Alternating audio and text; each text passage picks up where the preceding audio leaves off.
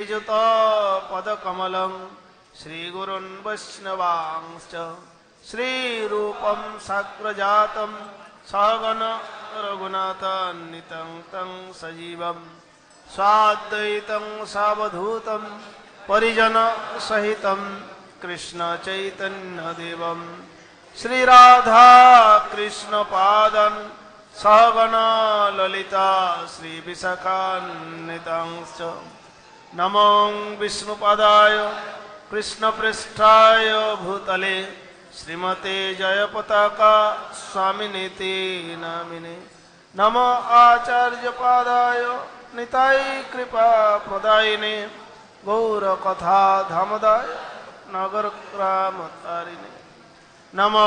विष्णुपादाय कृष्णपृष्ठा भूतले श्रीमती भक्ति वेदांत स्वामी नामिनी नमस्ते सारस्वती देवे गौरवाणी प्रचारिणे निर्विशेष शून्यवादी पाश्चात्य देश तारिणे वंशा कल्पतरुभ कृपा सिंधुभ्य च पतितानां पावनेभ्यो वैष्णवेभ्यो नमो नमः नमो महावदन्याय कृष्ण प्रेम पदायते कृष्णाय कृष्ण चैतन्य नामने घोरतिसे नमः हे कृष्ण करुणा सिंधु दीनबंधु जगतपते गोपेश गोपिकाकांत राधाकांत नमस्ते तप्त कांचन गौरांगी राधे वृंदावनेश्वरी वृषभानुसुते देवी प्रणमामि हरिप्रिय जय श्री कृष्ण चैतन्य प्रभु नित्यानंद श्री अद्वैत गदाधर श्रीवास आदि घोर भक्त वृंद हरे कृष्ण हरे कृष्ण कृष्ण कृष्ण हरे हरे हरे राम हरे राम राम राम हरे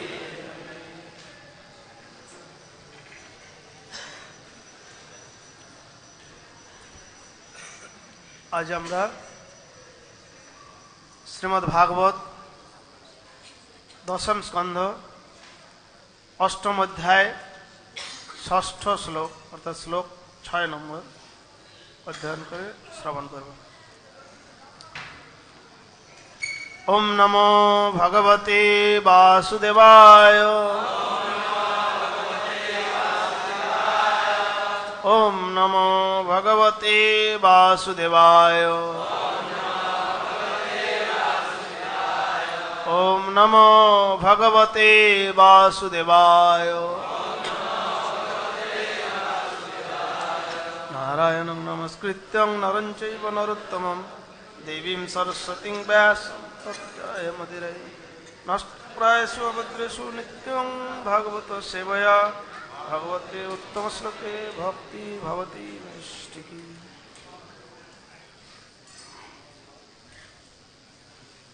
শ্লোক তং হি ব্রহ্মবিদং শ্রেষ্ঠ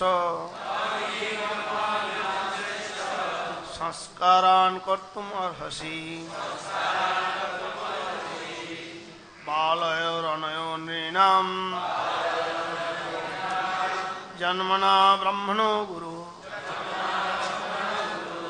त्वं हि ब्रह्मविदां श्रेष्ठ संस्कारान् कर्तुमर्हसि बालयोरनयो नृणां जन्मना ब्रह्मणो गुरु त्वं हि ब्रह्मविदां श्रेष्ठ संस्कारान् कर्तुमर्हसि बालयोरनयोर्णीणाम् जन्मना ब्रह्मणो गुरु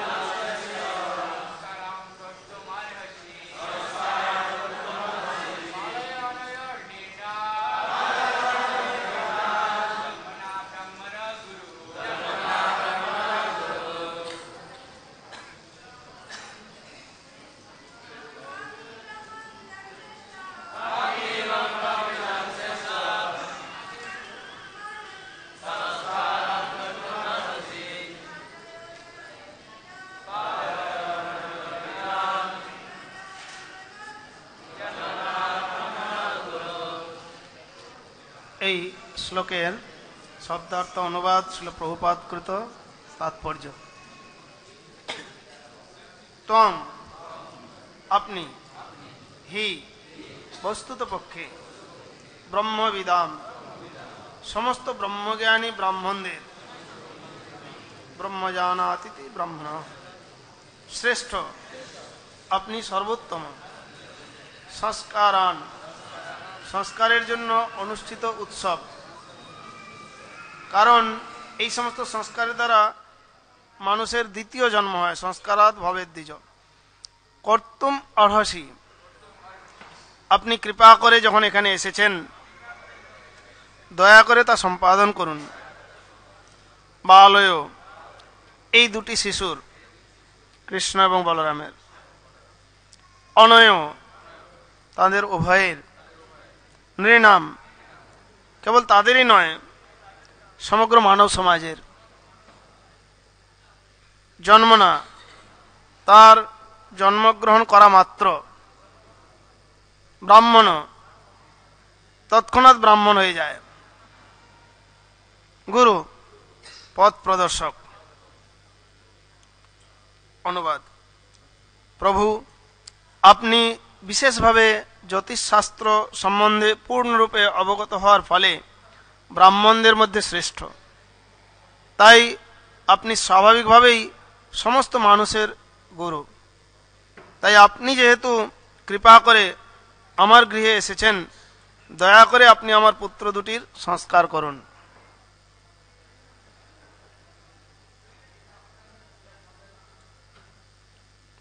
গর্গমণির নন্দ মহারাজের গৃহে আগমনের পর মহারাজ গর্গমণিকে সম্বোধন করে এই কথাগুলি বলছেন এবং নন্দ মহারাজ এই মহান ঋষি গর্গমণির উপস্থিতির সুযোগের পূর্ণ সদ্ব্যবহার করতে চেয়েছিলেন এই শ্লোকে শ্লোক প্রভুপাতকৃত তাৎপর্য ভগবদ গীতায় ভগবান শ্রীকৃষ্ণ ভগবদ্গীতায় বলেছেন চাতুর্বর্ণ ময়া সৃষ্টং গুণকর্ম বিভাগস মানব সমাজে ব্রাহ্মণ ক্ষত্রিয় বৈশ্য এবং শূদ্র এই চারটি বর্ণ বিভাগ থাকা অবশ্য কর্তব্য সমগ্র সমাজের পথ প্রদর্শনের জন্য ব্রাহ্মণদের আবশ্যকতা রয়েছে যদি বর্ণাশ্রম ধর্মের ব্যবস্থা না থাকে এবং মানব সমাজে যদি ব্রাহ্মণদের মতো পথ প্রদর্শক না থাকে তাহলে মানব সমাজ নরকে পরিণত হবে কলিযুগে বিশেষ করে বর্তমান সময়ে প্রকৃত ব্রাহ্মণ নেই এবং তাই মানব সমাজে এই প্রকার বিশৃঙ্খলা দেখা দিয়েছে পূর্বে যোগ্য ব্রাহ্মণেরা ছিলেন কিন্তু বর্তমান সময়ে নিজেদের ব্রাহ্মণ বলে দাবি করে এরকম বহু লোক রয়েছে তবু তাদের সমাজকে পরিচালনা করার কোনো ক্ষমতা নেই কৃষ্ণ ভবনামৃত আন্দোলন তাই মানব সমাজে বর্ণাশ্রম ব্যবস্থার পুনঃপ্রতিষ্ঠা করতে অত্যন্ত আগ্রহী যাতে মানব সমাজের বিভ্রান্ত এবং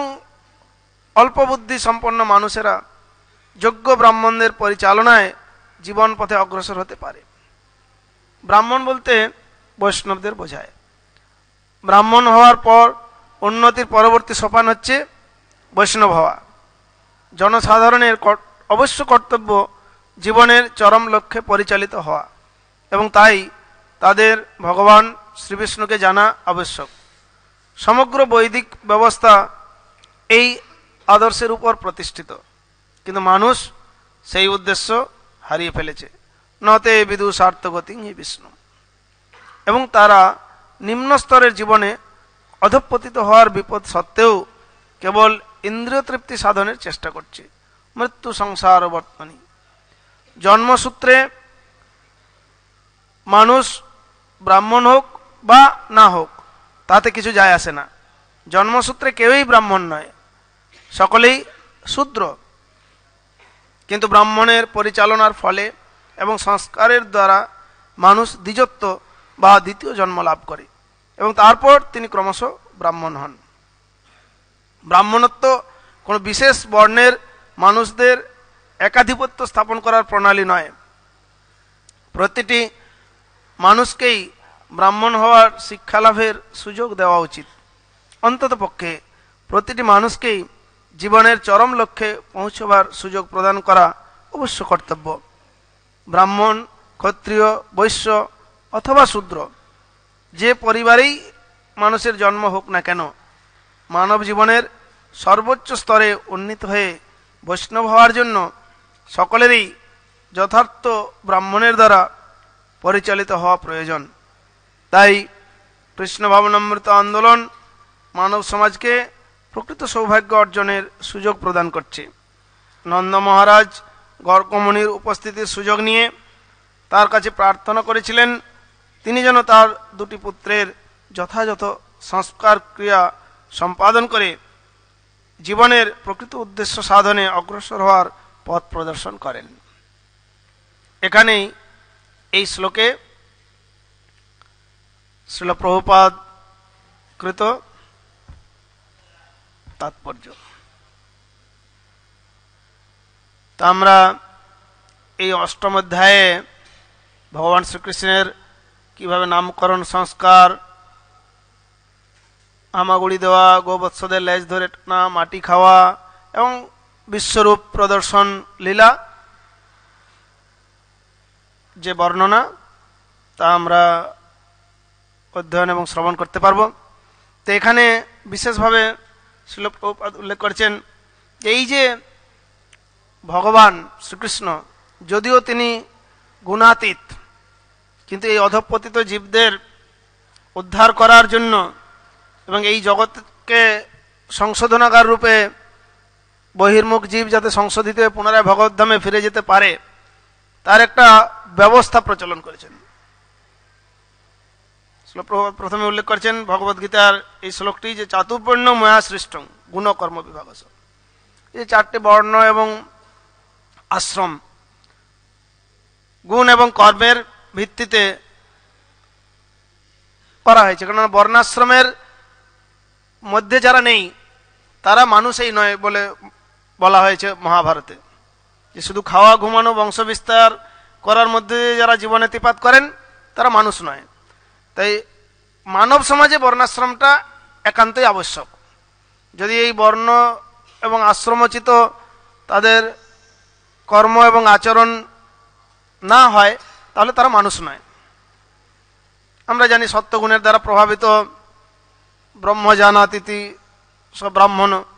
তিনি ব্রাহ্মণ এবং সেই ব্রাহ্মণ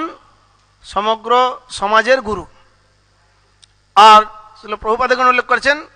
ব্রাহ্মণত্বের যথার্থ উন্নতি হবে বৈষ্ণব হওয়ার মধ্য দিয়ে যদি তিনি বৈষ্ণব হবেন তাহলে তিনি যথার্থ ব্রাহ্মণ আর ক্ষত্রিয় হচ্ছে যারা রজগুণের দ্বারা প্রভাবিত এবং তাদের যে বর্ণচিত কর্তব্য সমাজকে সুরক্ষা দেওয়া অসহায়কে প্রতিপালন করা এই বিষয়গুলো রয়েছে আর উৎপাদক শ্রেণী তারা হচ্ছে বৈশ্য তারা রজ এবং তমগুণের দ্বারা প্রভাবিত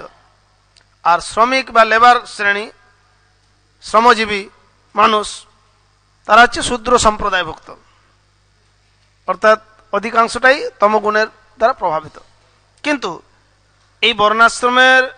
যে বর্ণে যে আশ্রমেই কেউ থাকুক না কেন তাদের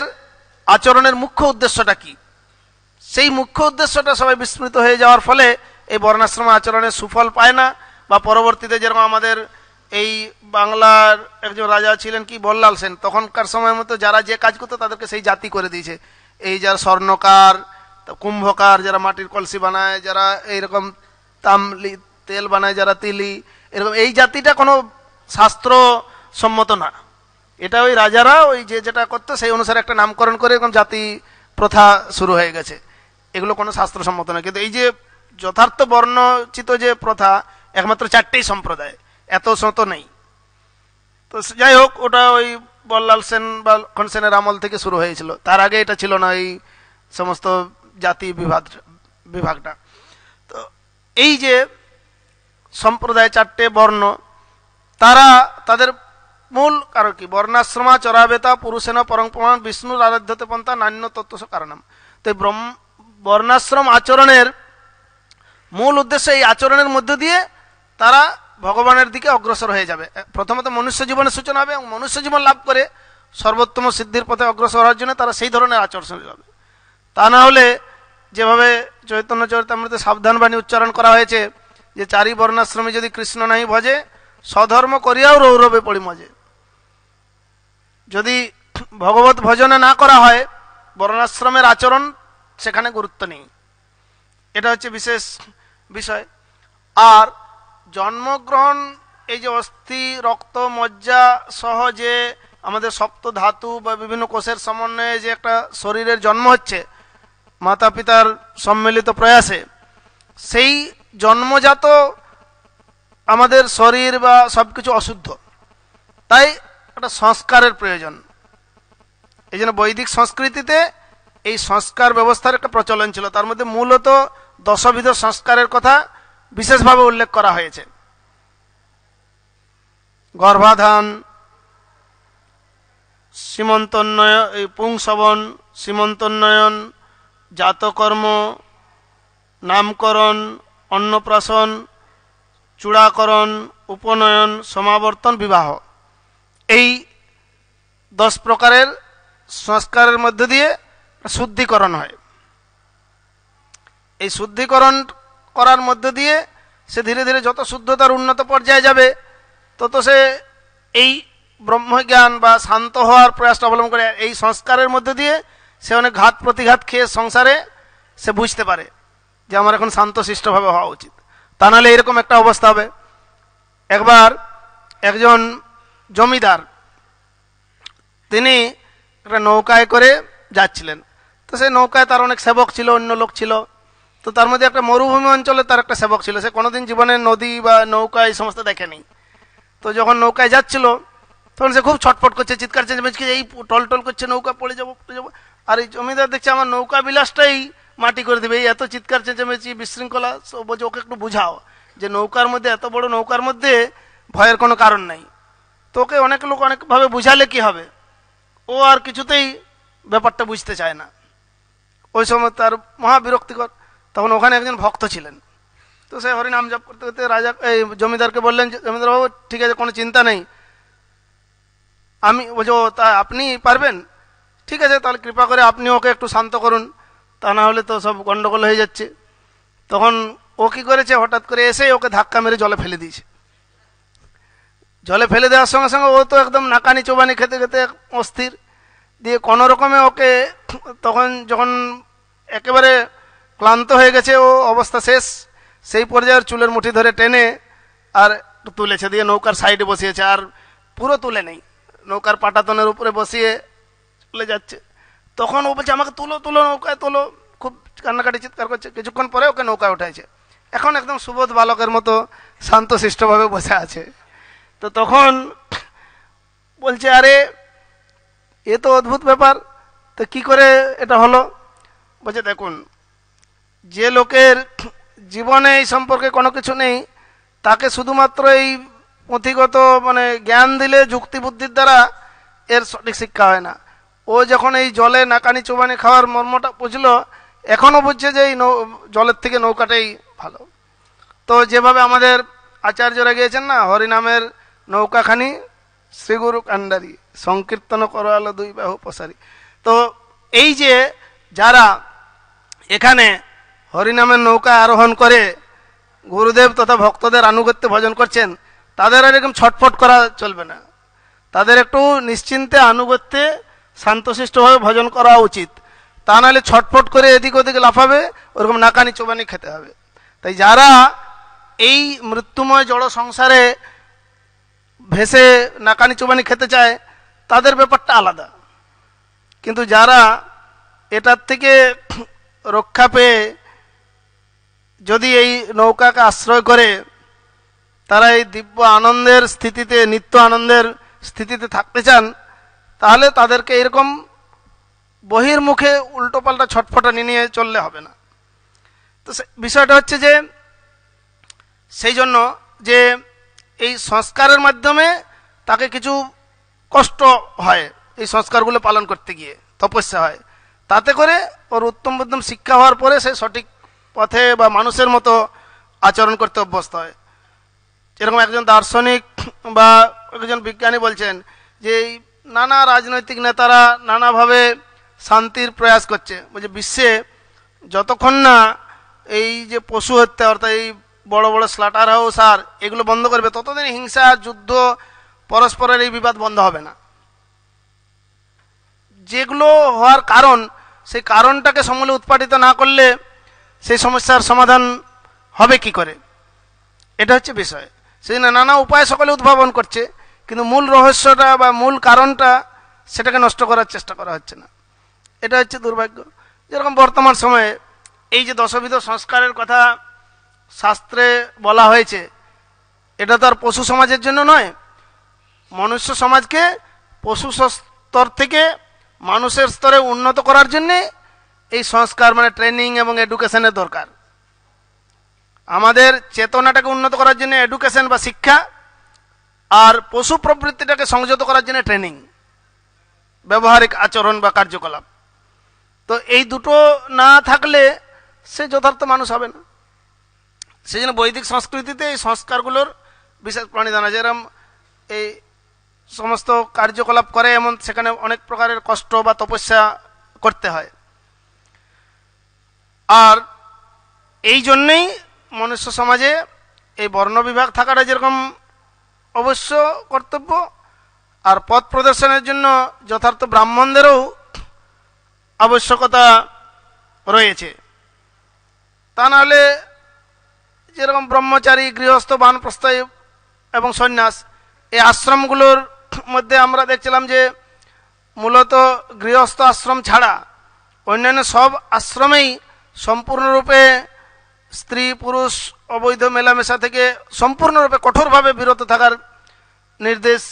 দেওয়া হয়েছে কিন্তু বর্তমানে তো আদর্শ গৃহস্থ জীবন নেই গৃহমেধীর জীবন যার ফলে বেশিরভাগ ক্ষেত্রেই তাদের সমস্যা এমনকি যথার্থ সেবাও করতে চায় না শিষ্যরা গুরুদেবের যে বলা হচ্ছে যা কিছু করবে এবং কি গৃহস্থ ব্রহ্মচারী সকলেরই গুরুদেবের প্রতি গুরুদেবের আনুগত্যে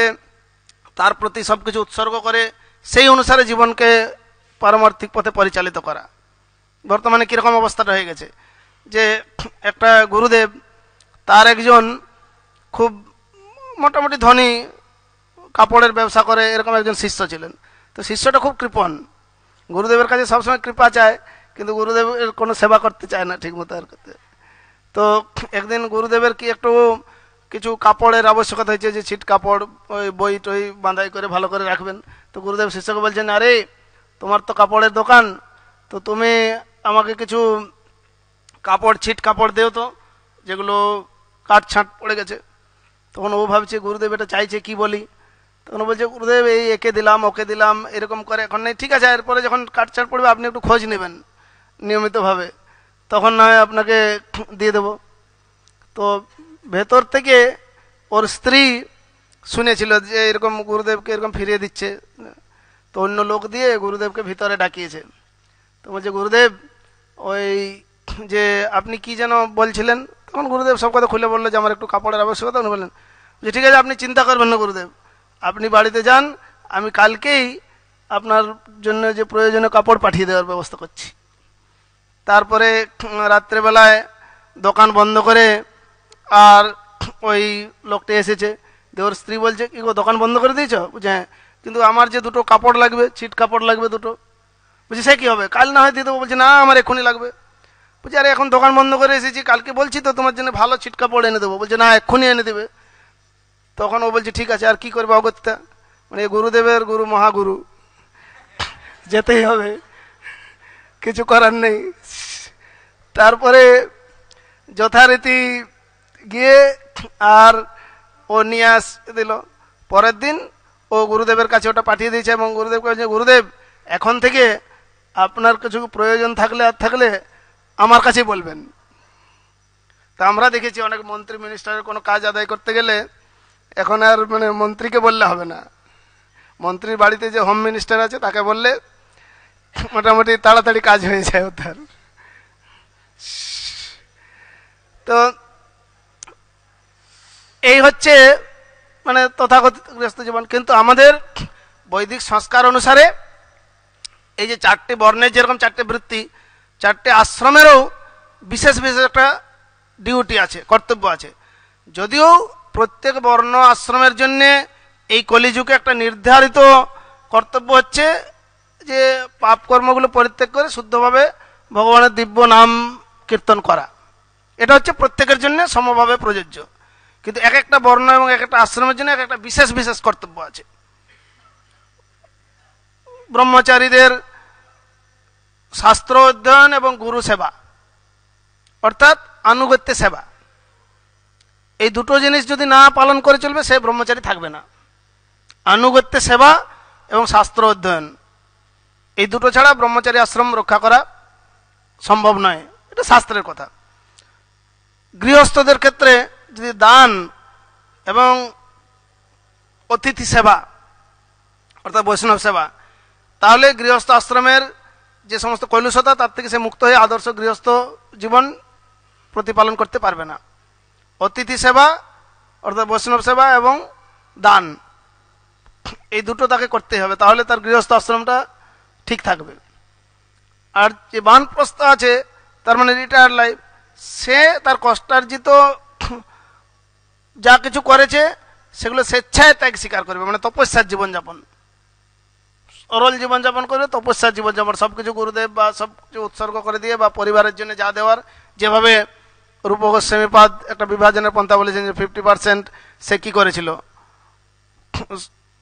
পরিবার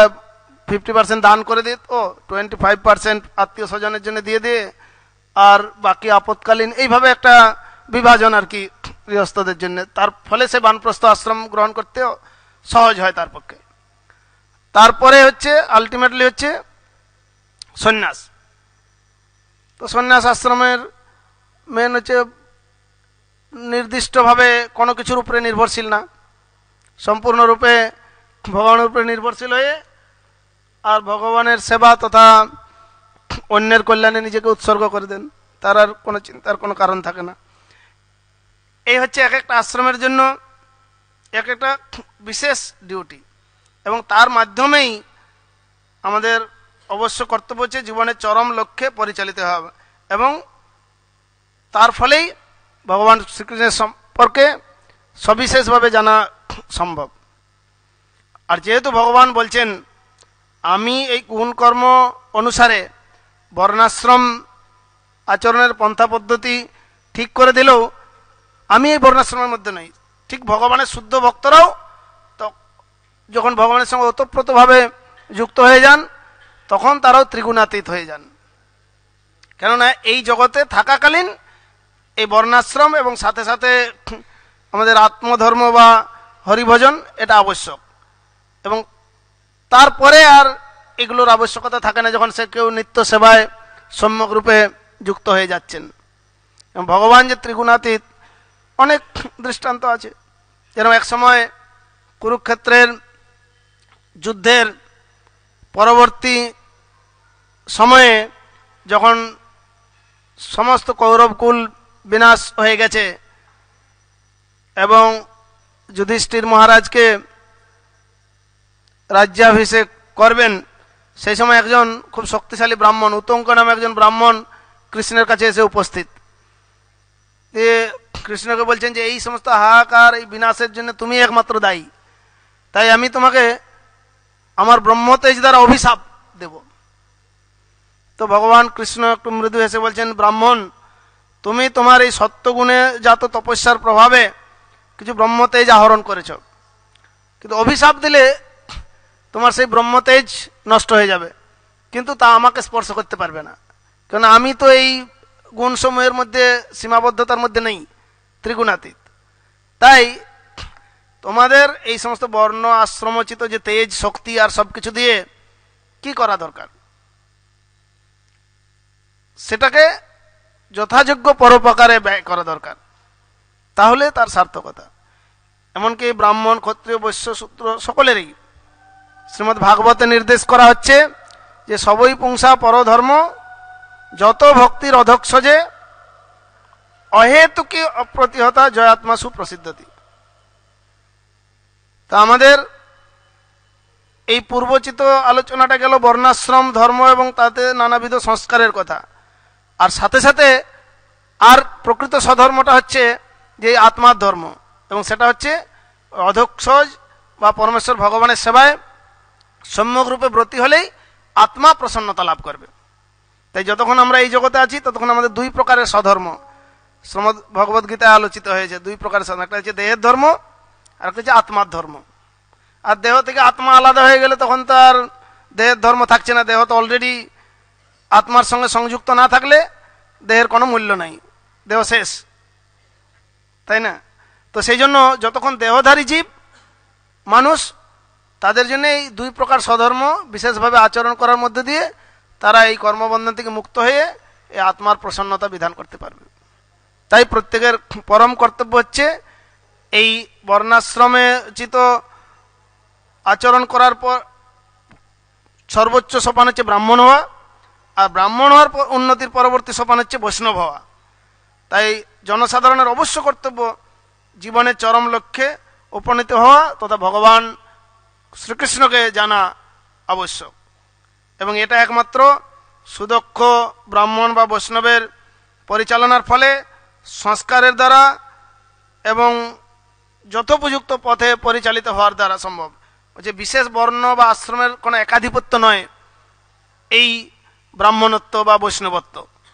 এটা যে কেউ যথাযোগ্য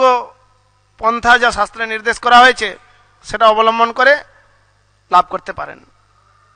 আর বিশেষত ভগবানে প্রপত্তি করলে ভগবান তার মনোবাসনা সেই অনুরূপ প্রতিদান দিয়ে পূরণ করেন তাই না ভগবান সেই প্রতিশ্রুতিও দিয়ে রেখেছেন যে যথামাং প্রপদ্যন্তে তাং তথৈব ভজাম্মহম মমবর্তানুবর্তন্তে মনুষ্য পার্থ সর্বস্ব যে আমার প্রবর্তিত এই যে পথ এই বর্ণাশ্রম বা আত্মধর্ম যা কিছু বলা হয়েছে এই পথ অবলম্বন করে যারা চলবেন তারা আমাকে যেভাবে প্রপত্তি করবেন আমি তাকে অনুরূপ প্রতিদান দেব তা অনেক সময় বলে ভগবানের কাছে যা চাইবে তাই পাওয়া যাবে কিন্তু কল্পবৃক্ষ কিন্তু যথাযথ পথ অনুসরণ না করলে বিপত্তি আছে ভগবান তো কল্পবৃক্ষের মতো তাই না যেরকম একজন ক্লান্ত পথিক ভ্রমণ করতে করতে শ্রান্ত হয়ে একটা গাছের নিচে শুয়েছে তো তা সেটা জানতো না যে সেটা হচ্ছে কল্পবৃক্ষ তো এখন অযোগ্য লোকের কল্পবৃক্ষের কাছে গেলে কি বিপত্তিটা হয় আর কি তো সে জানতো না যে সেটা কল্পবৃক্ষ তো সে চিন্তা করছে হ্যাঁ এই সময় যদি আমি একটা সুন্দর নরম বিছানা পেতাম এই সুশীতল গাছের ছায় কত সুন্দর বিশ্রাম করে আমি এখন এত টায়ার্ড ক্লান্ত তো সঙ্গে সঙ্গে একটা সুন্দর বিছানা হয়ে গেছে আজির তো বিছানা একদম ভালো মখমলের গদির মতো খুব আরাম করে ঘুমাচ্ছে এখন যে ও এই সময় যদি আমার একটা সুন্দরী রমণী আসতো আর আমার হাত পাগুলো একটু টিপে দিত তাহলে কত নাই হতো সঙ্গে সঙ্গে একজন সুন্দরী এসে তার পা টিপতে শুরু করেছে বুঝো ও এই সময় যদি একটা সুশীতল পানীয় আর সুন্দর সুস্বাদু খাবার পাওয়া যেত তো সঙ্গে সঙ্গে দেখছি একদম থালায় ভর্তি সব কিছু উপস্থিত তখন ও খুব আরামদায়ক করে খাচ্ছে তারপরে সারাদিন এতে বিকেল হয়ে গেছে আর খুব আনন্দের মধ্যে মানে আরামের মধ্যে আছে এখন চিন্তা করছে সেই পূর্ব পূর্ব কথাগুলো চিন্তা করে খুব আনন্দ পাচ্ছে আর বলছে আরে এই সময় গাছের নিচে একাকি আছে এই সময় যদি একটা বাঘ এসে ঘাড় মোটকে ধরে আর যেই চিন্তা করেছে সঙ্গে সঙ্গে একটা বাঘ এসে আর ঘাড় মোটকে ও রক্ত শোষণ করে ওর সমাপ্তি তো এই যে এই ভগবত রাজ্যে এসে মানে এই যে ভগবত ভজন করতে আমরা আশ্রমে এসেছি এর মধ্যে যদি যথাযথ সংস্কার বা এই প্রক্রিয়া পালন না করে এরকম উদ্ভট চিন্তাধারায় আরামায়াসে থাকার কল্পনায় মশগুল হয়ে নানা প্রকার প্রয়াস করি তাহলে বিষয় চিন্তাটা লাস্টে বাঘের মতোই ঘাড়মটকে শেষ করে দেবে বাস অবস্থাটা শেষ যেহেতু এখানে সব কিছু পাওয়া যায় অনায়াসে তাহলে অবস্থাটার সেই পরিসমাপ্তির জন্যে আমাদেরকে রেডি থাকতে হবে তাই ওই রকম জল্পনা কল্পনা রাজ্যে না গিয়ে যথাযথ সংস্কার প্রক্রিয়াটা অবলম্বন করে আমরা ঠিক এই প্রকার শ্রদ্ধা এবং বিশ্বাস থাকলে ভগবান অবশ্যই যে কৃপা করেন এবং তার বহু দৃষ্টান্তও রয়েছে যেরকম অনেক মহাত্মা সজ্জন তারা এইভাবে উদ্ধার লাভ করেছেন এবং সেই পথ অনুসরণ করে আমরা সেটা পেতে পারি সেই জন্য এই কৃষ্ণ ভাবনামৃত আন্দোলন প্রভুপাত বলছেন যে মানব সমাজকে সেই প্রকার প্রকৃত সৌভাগ্য অর্জনের সুযোগ প্রদান করছেন যেভাবে এইখানে গর্গমণি তার উপস্থিতির সুযোগ নন্দ মহারাজ নিতে চেয়েছিলেন কেন না যাতে করে এই যে তার দুটি পুত্রের সংস্কার সম্পাদন করে জীবনের প্রকৃত উদ্দেশ্য সাধনে অগ্রসর পথ প্রদর্শন করেন এটা শুধু তাদের জন্যই নয় প্রভুপাত বলছেন সমগ্র মানব সমাজেরও পথ প্রদর্শন করছে সেই জন্য সেই পন্থা পদ্ধতিটা অবলম্বন করা আমাদের বিশেষভাবে উচিত এবং এইভাবে ভগবান শ্রীকৃষ্ণের এই লীলার মধ্য দিয়েও আমরা অনেক ব্যক্তি জীবনে সমাজ জীবনে এবং সামগ্রিকভাবে সংস্কৃতিগত বিষয়ে সবিশেষ শিক্ষা অর্জন করতে পারি তাই এই কলিযুগে শিল প্রভুপাত বলছেন যে আমরাও তাই বিশেষভাবে এই বর্ণাশ্রম ব্যবস্থাটাকে পুনরুজ্জীবন ঘটানোর জন্য প্রয়াসে ব্রতী হয়েছি দৈব বর্ণাশ্রম যার মধ্যে দিয়ে আমরা অনেক সুন্দরভাবে ভগবত ভজন করতে পারি হরে কৃষ্ণ হরে কৃষ্ণ কৃষ্ণ কৃষ্ণ হরে হরে হরে রাম হরে রাম রাম রাম হরে কারো কোনো প্রশ্ন আছে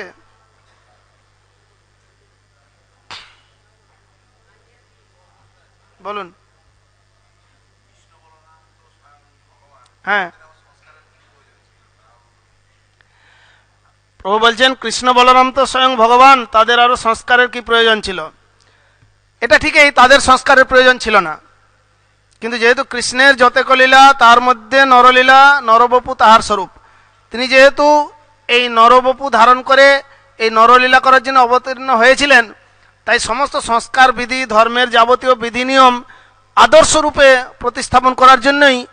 এগুলো বিশেষভাবে পরিলক্ষিত হয়েছিল যেরকম কৃষ্ণের কৃষ্ণ তো জগৎগুরু আদি সব কিছু তার আবার গুরুগৃহে গিয়ে শিক্ষালাভের কি প্রয়োজন ছিল ছিল না অর্জুন ভগবান শ্রীকৃষ্ণের সখা পরম বীর এবং ভক্ত তার তো এই মোহগ্রস্ত হওয়া আত্মীয় স্বজনের প্রতি শোকার্ত হওয়া জড় বুদ্ধির দ্বারা